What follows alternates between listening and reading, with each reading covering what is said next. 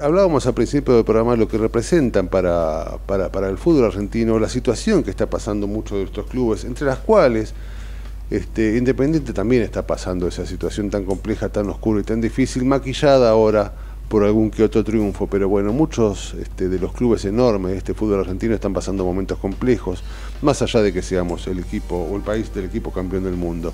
En esa situación está el querido Vélez Arfiel y, vamos a tratar de meternos un poco en la vida de Vélez para tratar de entender no solo a Vélez, sino también, también tratar de entender un poco a la, a la actualidad de este fútbol argentino tan complicado, tan difícil, tan oscuro tan, este, tan parecido por momentos a, la Argentina. ¿no? Estamos conectados con, Gastón Aymaro, que es eh, de, la, de Unidad Velezana, este, una de las facciones que ojalá terminen por definir el futuro de, de, en, unas posibles este, y, próximas elecciones. Eh, Gastón, querido Raúl Vázquez, te saluda, ¿cómo estás? Hola Raúl, ¿cómo andás? ¿Cómo anda todo, todo el equipo? Un saludo a todos los oyentes. Te agradezco, viejo. Todo, todo muy bien por acá. Vos sabés que, a ver, para empezar, yo empecé diciendo que soy de Independiente, pero la verdad, además de eso, eso eh, tiene que ver con la herencia, yo nací en Camarones y Cortina, entre Cortina e Irigoyen. Toda mi infancia, toda mi infancia estuvo este, allí debajo de la autopista, en las vías cerca de la cancha de Vélez jugando al fútbol. Así que este, mi recuerdo también está ligado a Vélez Arfil y a muchos amigos que tienen que ver con, con, esa institución tan querida y, tan, y que ha sido tan ejemplo. Yo recuerdo, este, Gastón, que yo era chico y el ejemplo era Independiente Ferro y Vélez. Te hablo del año 80 más o menos, en esa década. ¿Y qué ha pasado hoy para que estas instituciones, entre ellas vamos a centrarnos en Vélez, eh, estén como están? ¿Qué ha pasado? Y un poco la dejadez, el que no avanza retrocede, él tendría que haber tomado como otros clubes las decisiones y no la decisión por el club. Tendríamos que haber anticipado muchos sucesos y de los cuales nos hemos anticipado.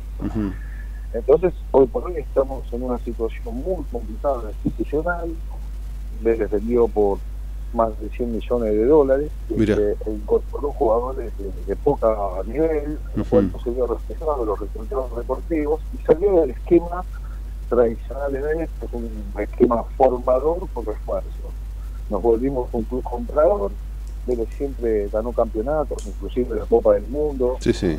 Este, con la mayoría del plantel de las fábricas que le decimos nosotros en nuestras inferiores, con Recuerdo que Vélez nunca nunca vendía al fútbol eh, argentino. Vélez no reforzaba, era una política, no reforzaba rivales, ¿no? Y eso era, era, era también muy interesante y tenía que ver con la calidad de jugadores de Vélez, ¿no? Y bueno, es tratar de volver a ese modelo que tan grande nos hizo con nuevamente con corporaciones realmente de jerarquía, con, compuestos que, que jerarquizan el plantel. Este, todos sabemos lo que hoy por hoy atraviesa nuestra institución, lo difícil que es este, nuestro país también. Pero sumado a todo eso, la coyuntura que está viviendo este, nuestro país en este momento. Para nosotros es muy importante hoy por hoy eh, generar nuevos ingresos genuinos de diferentes maneras para poder acompañar y realmente hacer un crecimiento como el que merecemos porque nos quedamos bastante retrasados en varios aspectos. Y uno de esos es la estructura, la estructura de Vélez, porque es un club grande, con institutos, con educación, con sociales, culturales. Mi sobrino se recibió allí de profesor de gimnasia.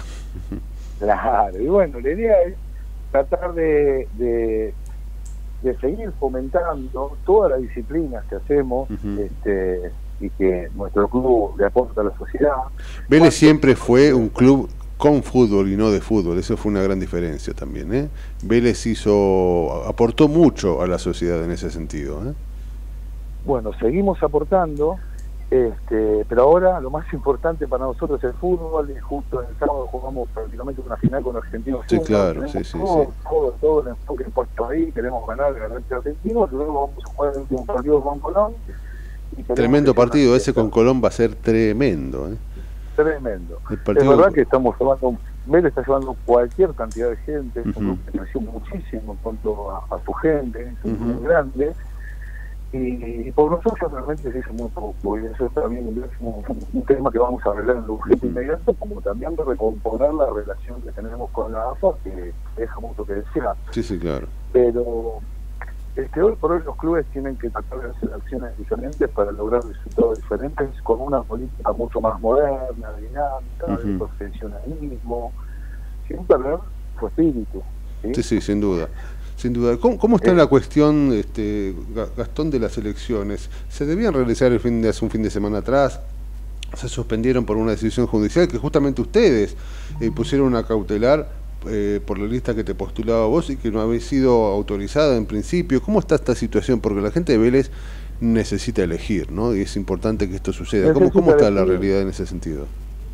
Bueno, gracias a Dios este, ya hay elecciones confirmadas para el domingo 12. Ayer tuvimos una reunión con el presidente de Vélez y los otros dos candidatos, contestamos esa fecha.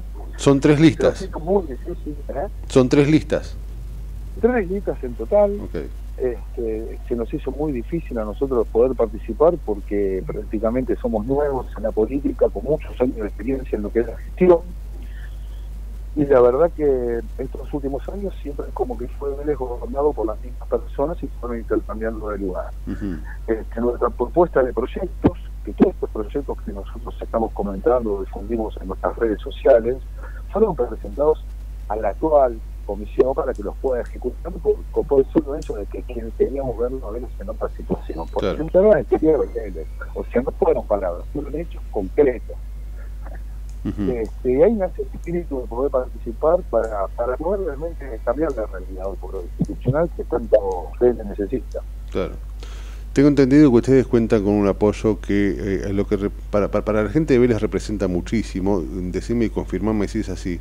Tengo entendido que José Luis Chilabert apoya tu candidatura, de alguna manera va a ser un sostén importante en lo que queda de campaña. Esto, esto es así, ¿no? Sí, con José Luis Filaber tenemos muy buen diálogo, la verdad que, que para nuestra institución es un ídolo. Vélez necesita de todos, por hoy necesita de todos, porque, como te dije, necesitamos generar este, diferentes maneras para lograr resultados diferentes y para nosotros hoy por hoy es un capitán, campeón del mundo. Eh, también él era muy amigo de, Héctor Gaudio, en las listas sí. compartimos con Alejandro Gaudio, que Alejandro sigue el mismo estilo de lo de Héctor, un hombre transparente, claro, con empuje, porque él es familia, nos conocemos entre todos y realmente queremos volver a esa esencia, a un club familiar, un club grande, este, con ese espíritu. Ojalá, ojalá suceda porque yo, yo insisto, estas cuestiones que tienen que ver, yo recién decía, viste que mm, eh, Huracán dice que junto a San Lorenzo juegan el clásico de barrio más importante del mundo. Yo alguna vez escuché, vos me dirás si es así o no, que Vélez es el club de barrio campeón del mundo, digamos que no todos han logrado esa, esa enorme medalla que lograron en el 94 de la mano de un equipo impresionante que yo he sufrido como hincha independiente, que nos han dado la vuelta en la cara. Lo recuerdo muy bien varias veces. Y recuerdo de chico, la verdad que yo iba mucho a ver Independiente Vélez, porque me quedaba más cerca, después me iba para Avellaneda, pero recuerdo que cada vez que jugábamos contra Bianchi, Carlitos Bianchi siempre nos hacía un gol. Y recuerdo también haber visto el que para mí fue el mejor tres del fútbol argentino, se llamaba Bujedo.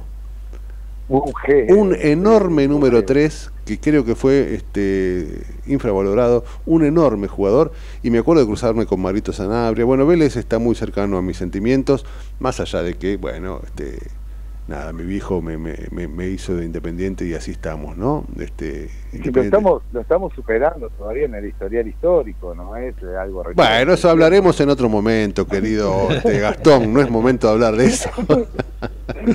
Tenemos una, una actualidad también muy compleja, más allá de que yo siempre digo que las copas nos hacen grandes y que algunos... Eh, nos critican porque esas copas son viejas, pero bueno, estarán oxidadas, pero las lustramos nosotros y no otros. Este, en, ese sentido, Vélez es un club inmenso y, ha llegado a la gloria en el 94 y, la verdad que ojalá le vaya como tiene que, irle. Contanos muy brevemente, este, bueno, me imagino que no serán muy amigos de Rapizarda, ¿no? Y nosotros, este, la verdad que somos oposición. Eh, estuvimos en muy desacuerdo en todas las decisiones que se han tomado. sin embargo, le hemos presentado propuestas para cambiar el rumbo que estaba tomando nuestra institución y que lo llevó a la actualidad que estamos viviendo el día de hoy. ¿sí? tratamos de construir un medio desde afuera y aportarle y no quedarnos en el lugar de decir, sino en el hacer.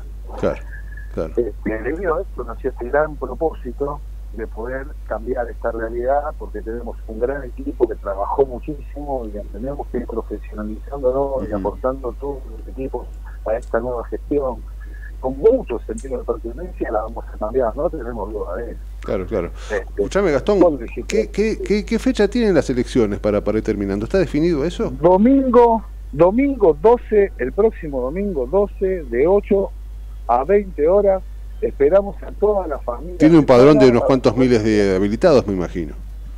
Sí, hay más de 26.000 eh, habilitados esperamos a toda la familia venezolana que venga a participar y obviamente y ojalá que pongan su voto de confianza en nosotros con esta fórmula de Aymaro Gaudio que realmente estamos convencidos y con muchas ganas de trabajar por nuestro medio club, dejando de lado muchas cosas porque todos saben que no es fácil. Sí, claro, me imagino. Me imagino, me imagino.